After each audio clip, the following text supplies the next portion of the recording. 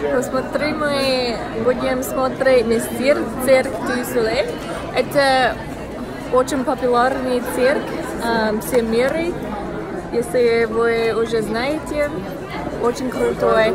Мы с мамой уже видели не давно назад, но стоит. Поэтому я рекомендую это вам, потому что, как, наверное, вы уже знаете, но несколько из um, актеры из России, поэтому очень стоит. Вот, привет, мы только что закончили мистер.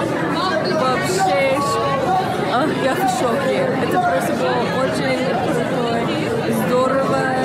Я не понимаю, как они сделают так.